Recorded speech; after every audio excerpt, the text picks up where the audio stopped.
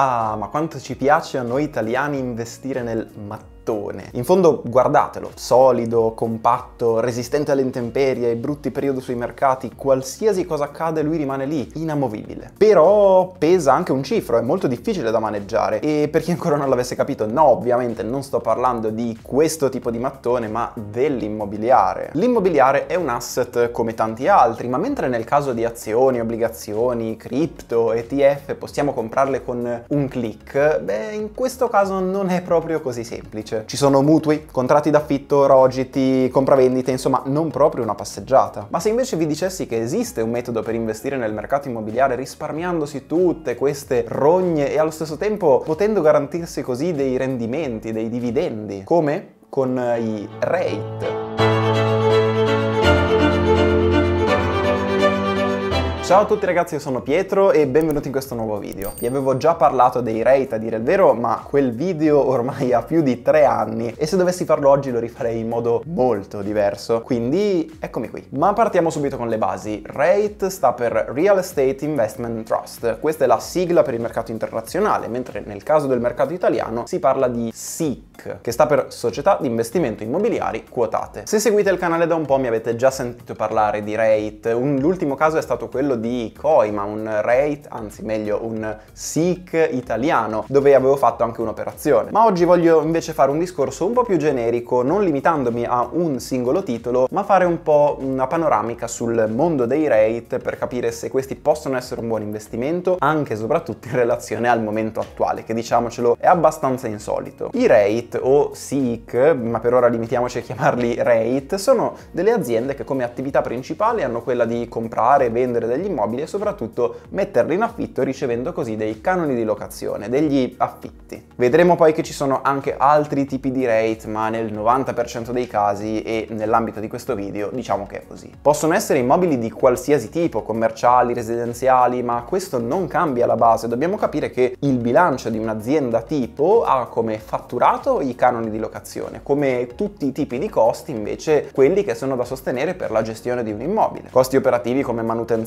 produzione, gestione quindi il netto all'azienda è ciò che rimane. Inoltre a parte, quindi non nel conto economico, ci sono tutta una serie di movimenti che vengono fatti perché vengono regolarmente acquistati nuovi immobili e rivenduti altri che l'azienda aveva in portafoglio. Con l'unica differenza che quando questi movimenti li fanno delle aziende standard si tratta di un evento particolare, hanno comprato un immobile, qui invece è un po' la realtà quotidiana. Iniziamo con il dire una cosa molto particolare, le quote, o meglio dire se vogliamo essere precisi, unità dei rate sono sostanzialmente come le azioni, ma c'è una differenza molto specifica. I rate, se rispettano determinati requisiti normativi, possono avere un trattamento fiscale migliore, pagano meno tasse brutalmente. Ci sono tutta una serie di requisiti e uno di questi è che una percentuale molto alta dei profitti venga distribuita ai proprietari delle quote o unità a fine anno. E ripeto, devono. Se non lo fanno non succede niente dal punto di vista legale, non è un obbligo che se non succede va in prigione, ma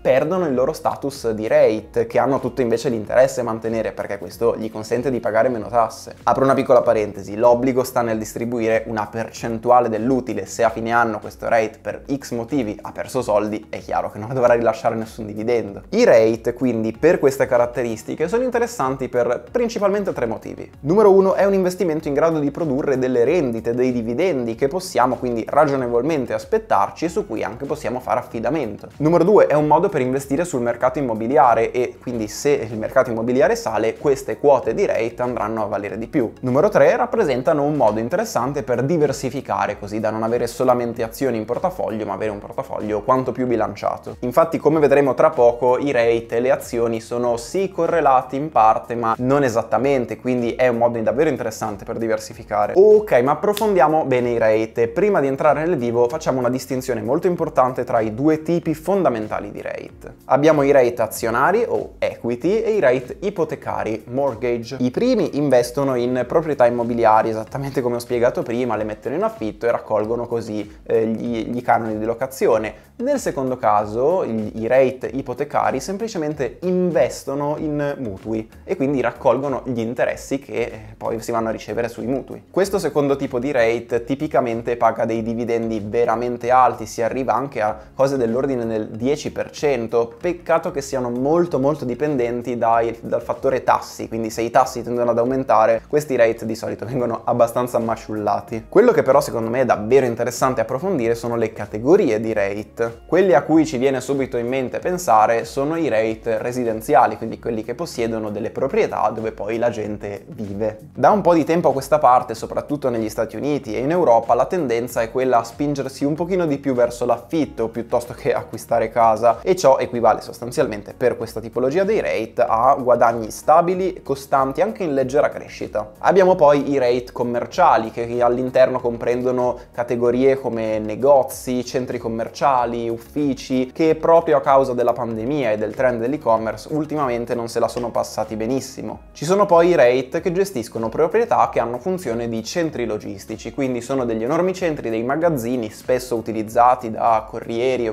compagnie che fanno spedizioni e questi al contrario con i trend dell'e-commerce che diventano sempre più presenti stanno diventando molto stabili e interessanti per potenziali rendimenti. C'è poi una categoria tutta a parte che sono i rate sanitari, in questo caso parliamo di proprietà come ad esempio ospedali o anche strutture come ospizi e ehm, case di riposo che quindi si muovono un po' in asincrono rispetto al resto dell'economia perché parliamo di esigenze primarie. Ci sono poi rate che gestiscono proprietà di accoglienza come ad esempio hotel e in questo caso però la concorrenza di servizi come Booking, Airbnb e soprattutto gli ultimi anni pandemici hanno veramente dato filo da torcere a questa categoria di immobile e che quindi non se l'è passata benissimo, ma non solo, si teme proprio che i danni in futuro saranno permanenti, quindi non si riuscirà mai più a recuperare. Ultima categoria di cui vi parlo oggi, ma è l'ultima di questo video, ce ne sarebbero tantissime altre da approfondire, sono rate che gestiscono proprietà un po' più tecniche, quindi parliamo di data center, quindi dei centri pieni di server, di macchine, di aziende, magari aziende terze, oppure delle torri di comunicazione, quindi delle antenne. Per quanto riguarda i primi, la domanda futura ci si aspetta che sarà davvero tanto elevata e chiaramente questi rate oggi stanno già scontando un po' il tutto, infatti sono tra i rate alle valutazioni più alte, però tutto è da riparametrare al resto, mentre per quanto riguarda i rate di telecomunicazioni,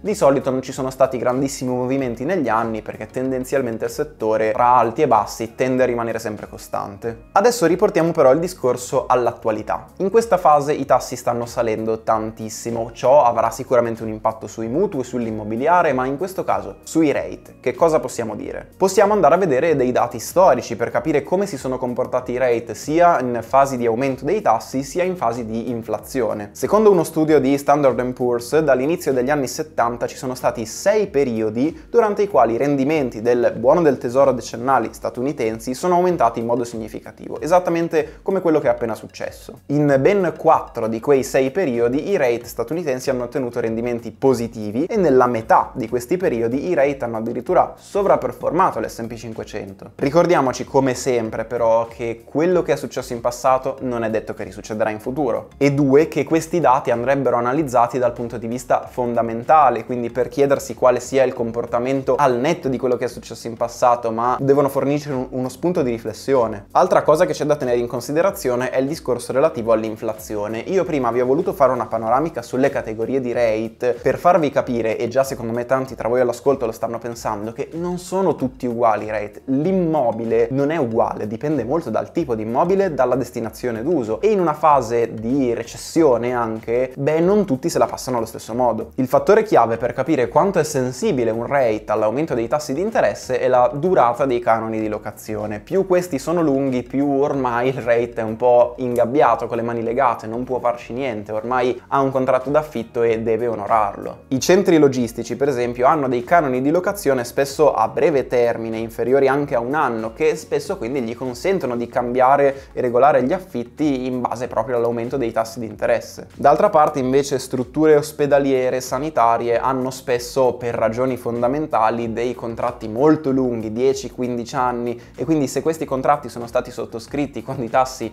erano estremamente bassi, beh allora non è molto vantaggioso perché questa gente qua deve rispettare 10 anni di contratto quando in realtà i tassi all'esterno stanno salendo. Nello stesso studio infatti si può notare come i rate con canoni a breve termine hanno mostrato una chiara tendenza a sovraperformare il mercato dei rate intero durante un contesto di aumento dei tassi, quindi in questa fase sarebbero da preferire. Ultima cosa fondamentale, siccome lo so che dopo questi video tanti saranno curiosi di andare ad approfondire i rate, però lo faranno con la mentalità di chi è abituato a, trattare le azioni. Non fatelo. I rate si presentano come azioni, si comprano come azioni, hanno dei bilanci esattamente come le azioni, ma non sono azioni, sono dei fondi immobiliari. E questo significa che hanno delle metriche da valutare completamente diverse rispetto a quelle che siamo abituati a valutare nelle azioni. Utile netto, EBITDA, questa roba qui non serve a niente, il price to earning, il PA ratio non serve, è fuorviante. Quando guardiamo azioni da dividendi, spesso cos'è che facciamo? Andiamo a vedere il payout ratio per vedere se il dividendo è sostenibile. Qui non si fa, queste robe qui non vanno fatte. Ci sono delle misure molto specifiche nel mondo dei rate, FFO per esempio, Funds from Operation, AFFO, che sono la stessa misura di prima però aggiustata per alcuni cambiamenti e alcune piccole modifiche. Spesso si va a vedere il NAV, Net Asset Value, quindi il valore degli immobili meno tutti i debiti che la società ha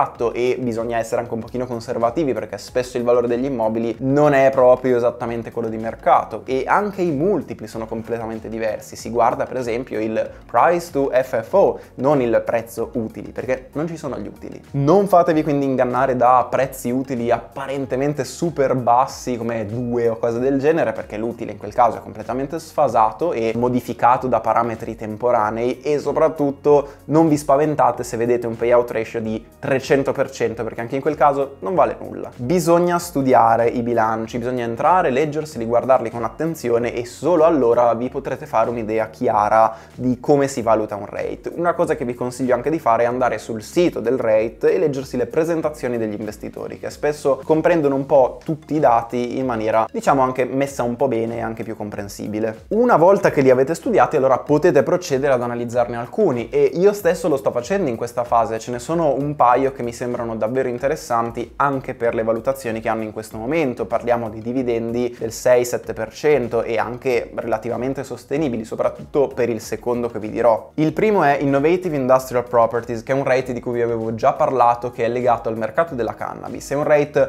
parecchio rischioso perché ha delle criticità su, per quanto riguarda le aziende che sono in affitto lì dentro, in una recessione potrebbero andare davvero male, quindi potrebbero perdere i canoni di locazione e aspettare di dover trovare i nuovi inquilini, quindi non è un rate semplicissimo da gestire, ma è anche uno dei motivi per cui in questo momento rispetto alla media di mercato ha delle valutazioni decisamente invitanti. Il secondo che invece è molto più stabile a livello fondamentale è un rate quotato a Singapore. Apro una piccola parentesi su Singapore. Voi sapete tutti che bisogna pagare le tasse sui dividendi e a quello non si scappa. Inoltre bisogna pagarle anche sullo stato di provenienza, quindi dividendo americano, tasse americane e tasse italiane, insomma vengono maciullati i dividendi. Nel caso di Singapore non è così, c'è solo la tassa italiana. Il rate in questione è Keppel DC REIT, dove DC sta per data center, quindi è quel mercato molto molto interessante che vi accennavo prima. Il rate è molto molto interessante perché sono rialzista su Singapore in generale come gestione, come capacità di gestire eh, affari immobiliari, di gestire patrimoni, quindi è molto interessante, ma anche il settore del, dei data center in questa fase è veramente al top. Ovviamente io vi farò sapere quali saranno i prossimi acquisti, ma in questo caso vi volevo solo far sapere che sto guardando attentamente il settore perché in questa fase trovare aziende che pagano il 5-6% di dividendi e che lo riescono a fare perché a livello fondamentale sono solide non è per niente semplice. Ovviamente ci aspettano dei periodi difficili avanti perché l'inflazione continua a galoppare e non tutti questi rate sono in grado di assorbirla, solo alcuni e bisognerà vedere quali effettivamente saranno in grado. E voi invece ditemi, avete mai investito in rate? Vi interessa il mercato immobiliare? Insomma, fatemi sapere qui sotto nei commenti, soprattutto se vi piacerebbe sapere magari un approfondimento su uno di questi rate, voler vedere un'analisi, secondo me sarebbe super interessante. Per oggi ragazzi è davvero tutto, io vi saluto e alla prossima!